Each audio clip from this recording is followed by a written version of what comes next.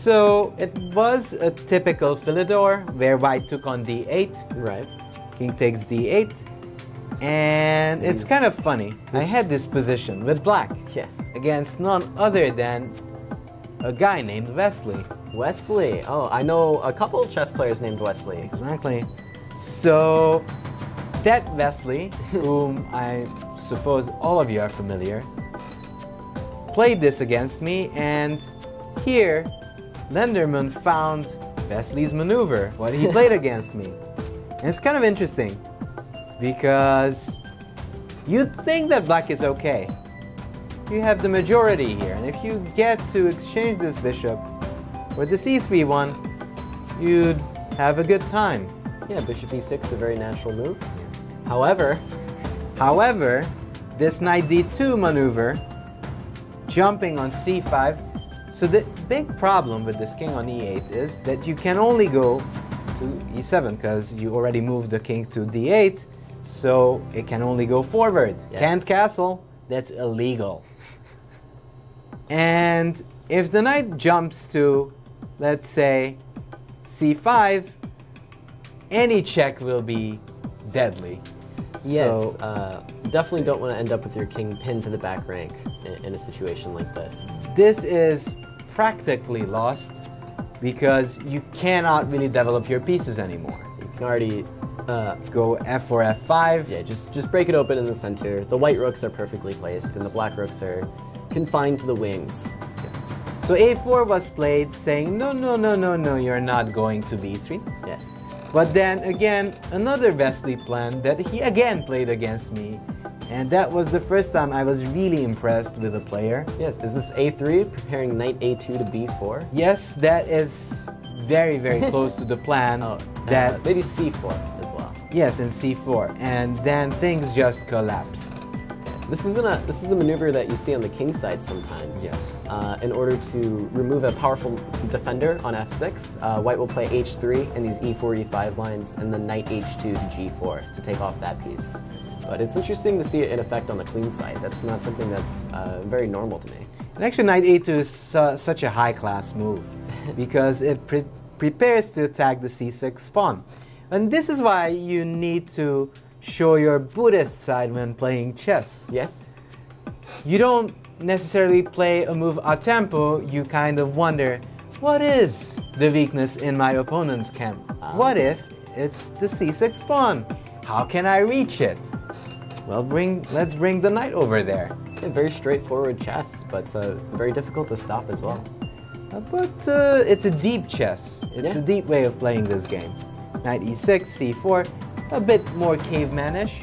c4 is a bit more cavemanish. Yeah. Uh, what I meant to say was logical chess, Yes. right? Uh, his his moves yeah, are it's all more- for the same purpose. Yes, They're it's more of logic chess. It's not brute force. Yeah. So bishop d7, but when Lenderman sees weak- weakness, he bounces at it. And now the knight goes back and decides that the, this pawn is the weakness now. So I'm going there. Interesting. Rook b8, knight f3, and says hello to the d7 bishop. And this king is still stuck in the center, suffering. And the big problem is that knight d5 might come, and that will be the beginning of the end, yet again. I did want to mention, uh, Yes. you said knight a2, and this is really high class chess. Yes. And I'm not sure it's a, that's a sentence that's ever been said before, Dennis. I think that might be original to you. I don't think anyone has ever described Okay, knight A2 copyright high as class. being high move. class. Yes. high class move, copyright by me. All you heard it here. so b4, and this is kind of sign of a desperation. Take 6, knight d5. And the problem is, just like in the Benoni, it was easier for uh, for black to play chess. Right. It's much easier to play this with white because Yeah. all your moves are just so logical. And that that is why I praise knight a2 so much because after that move, it's all of the moves are just just easy. right. And meanwhile, black is kind of, uh, I think, floundering a little bit, like you said, some desperation here. Yes. Bishop a6. Look at all these Lenderman happy moves. Yes. Rook b8 takes bishop c4. These moves might not be the objectively best, but they are easy He says, I have the bishop pair, you have a weakness. Just putting his pieces on good squares. What is there to complain about here for white? Nothing, because you take the pawn. King e7, let's liquidate. I'm up a pawn, I have the bishop pair, there's no way things could go wrong.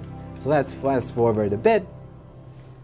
More exchanges, and Lenderman is a good technical player. Uh, He never rejects the option of exchanging stuff when he's up material. Bishop c6. But one thing for sure, he knows he wants to keep his bishop right. because a rook endgame might get drawish. Um, yeah, there's also uh, tactics going on here, Yes. right? If knight takes, if something like, I don't know, Yeah. uh, g3 and then knight takes d5, then, uh, oh yeah, It's well, one- this tactic as well controls g2. Yes. But a tactic for black would be if g3, there's knight takes d5, and then this rook check picks up the pawn. Yes, and G, g3 instead. So if g3 then takes and you pick up the pawn. But in any case, why go for that endgame? Yeah, just keep the King bishop the e5, king c3. And this is again good technique. You defend all your pieces. Why give false hope to your opponent? Rook b3 check, king c4. Lenderman knows that the king is the strongest piece in the endgame. And then he says, Bob, Push it all the way home. let's go. Yes. Bob, you have one job, and, and that is to promote. Knight f4, b5. And even though pawns are equal now, nothing equals Bob. No. I'd take, I'd take Bob over all three of the king's Yes. side pawns. All hail Bob. Yes. Okay. Rook a1, rook b2, and now Bob is getting stronger by the hour. Bob's your uncle, Dennis. Yeah, Bob's your uncle. King b5, f5 takes.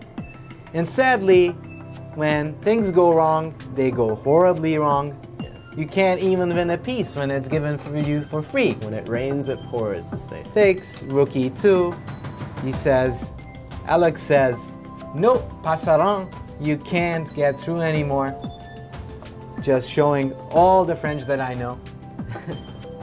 King d6. These grandmasters are very mean when they're winning an endgame. yes, They, they are. No, your king, it's over there. Yes. It was it was too close. Move it further away. Your knight, you can't move that guy either. And probably the end is nigh as Alex is about to capture that guy on d8 Yes. and then Bob does the dirty work, promotes, and then Bortnik is probably gonna resign pretty Um, soon. And yeah, if a move like rook b2, there's simply king c7 for white, Yes. right? Just defending this pawn. Uh, no hope of a rook and bishop versus Yeah, rook. no, no, no, no to the idea of a rook and bishop Of course, yeah. King c7, and I'll, after taking this knight, Bob, as we said, just does the business. Yes. All right, so that's a uh, big win for Alex. Yeah, that- how many points does that does Yeah, that let's take a look. to? How would Lenderman do after a potential win here? So that brings him actually to two out of three. So he would be definitely in contention for this leading position in the group A. Alec, Alex is reaching to play the killer move of king c7. Ah, and it's on the board, we see. And Bortnik is about to say bye-bye to this game, I guess. yeah. Uh, well, why don't we take a quick look at the Durarbayli game?